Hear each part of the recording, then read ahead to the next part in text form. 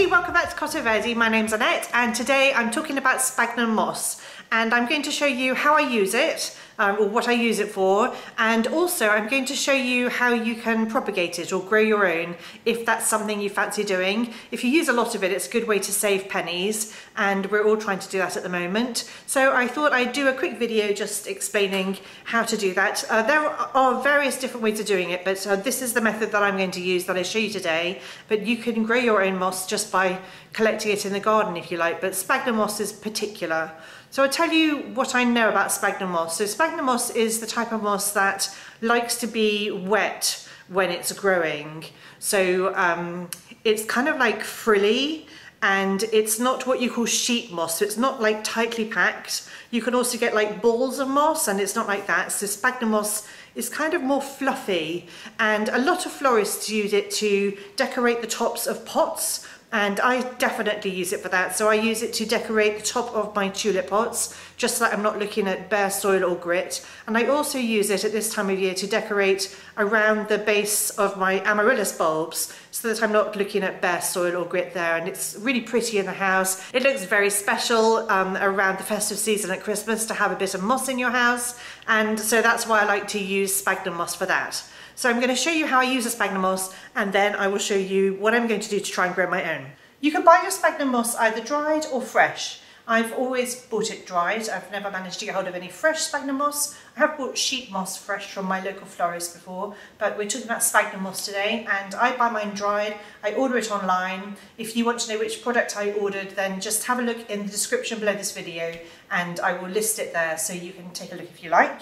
Um, and when it's dried, what you need to do is rehydrate it. So the moss that I order um, is, it has green in it. It's not dyed, it's completely natural, but it comes sort of semi-fresh, I suppose. It does say it's dried, but it seems to be more green than other brands. So a lot of brands, when you buy it dried, it's very brown, um, but the one that I choose has, it looks fresher.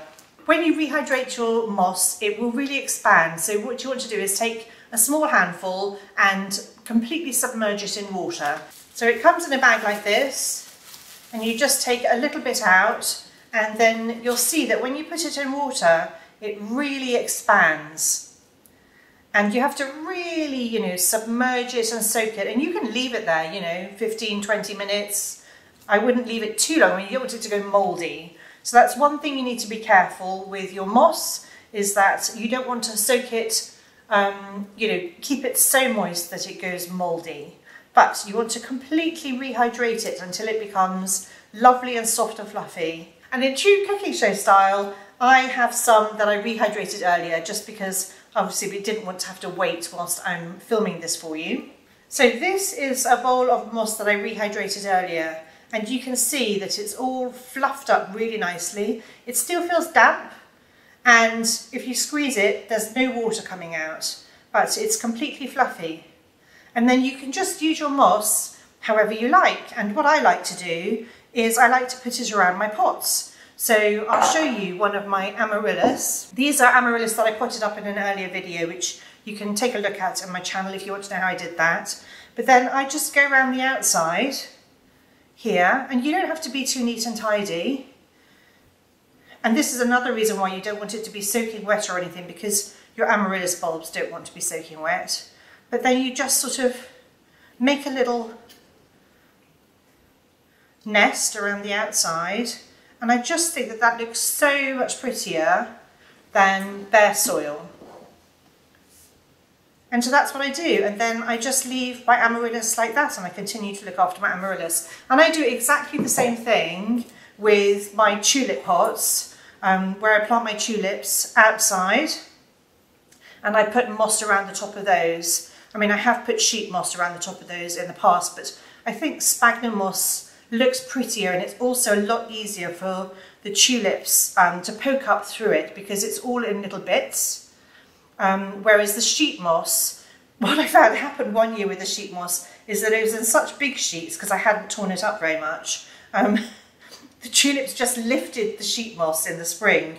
So there's like this layer suspended on the tulip leaves as they poke through, which I thought was quite funny, but it didn't look particularly good. That's how you rehydrate your dried sphagnum moss. and that's literally all there is to it. I should show you what it looks like when it's dry. So when it's dry, it just, it's completely dry, it looks like that. As I said, some um, moss that you can buy just looks really brown there's no green to it at all. And I just think that doesn't look quite as pretty. So that's why I really like this brand of moss. I read so many theories about how to propagate moss from its dried state, but this is the method that I'm going to try today. I haven't done this before, but I believe it will work. We're not going to know for a month or two because it does take a long time for the moss to grow. If you're trying to grow sphagnum moss from fresh, I believe it's a different method. You need to use a substrate, um, probably some peat um, compost or something like that. But I'm not doing that today because I have dried sphagnum moss and that's not how we do it. So if you've got dried sphagnum moss, you want to rehydrate it uh, just by putting it in a bowl of water and leaving it there for a while, which is what I did earlier. So what I've done is I've saved some tomato containers. So you could use these and then cover them with cling film or saran wrap or whatever you choose to call it. Um, or you could just use a Tupperware container um, maybe one you don't mind poking holes in because you want it to have ventilation.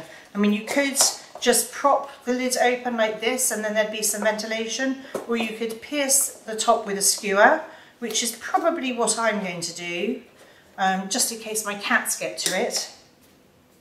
Um, so I'm going to try using each. I'm going to try both methods. So I'm going to try um, one with the tomato container and one with the cling film.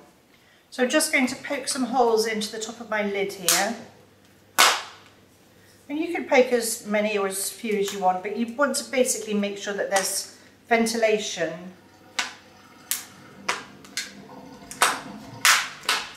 If your moss doesn't have ventilation while it's trying to grow, it will go mouldy and you'll get algae growth and you do not want algae growth. That's, that'd be disgusting and slimy and the end of your lovely moss and then you want to really um, squeeze it out. So you don't want it to be soaking wet, you want it to be moist. So, so long as it still feels moist, then you're okay. And I believe that still feels moist. Now the other thing that I have read,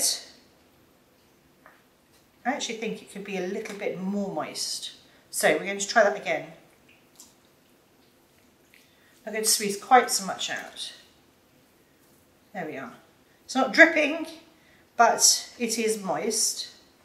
And then I'm just going to spread it out like that. And then I'm going to try a different method. And this method, um, people have said that it's easier for the sphagnum moss to grow if you chop it up into small pieces. So that's what I'm going to do with this second tub. And then we can do a comparison and see which one worked best. So again, I'm not going to squeeze out too much water. And it's also going to be a slightly different container because in this one I'm going to use cling film or saran wrap and the other one's going to have the lid but actually that should make a minor difference if any. So can you see how small I'm chopping it up? Apparently small is good. So there we go. And I'm just going to spread it out a bit. And I know it looks like I'm not putting a lot in there, but apparently you don't need a lot because you're trying to grow new stuff. So I'm just going to do it like that. And then all you need to do is put your lid on. Now with this one, I did poke holes in it, but they're more like cracks, so I don't think that's going to be sufficient. So what I'm going to do is just leave it ajar like that. And then with this one, I'm going to put cling film around it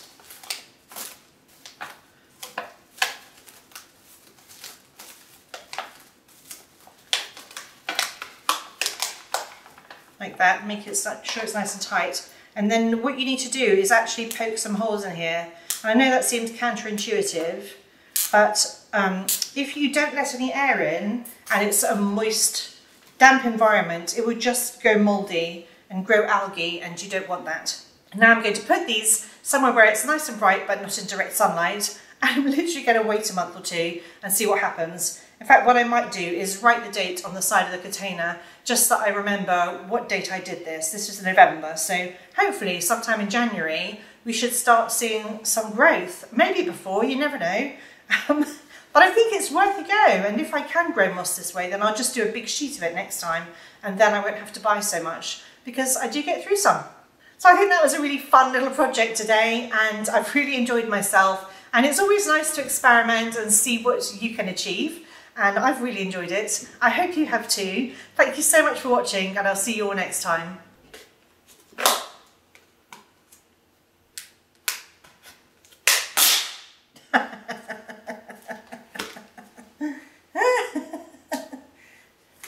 Don't poke holes in your plastic lids because it will break.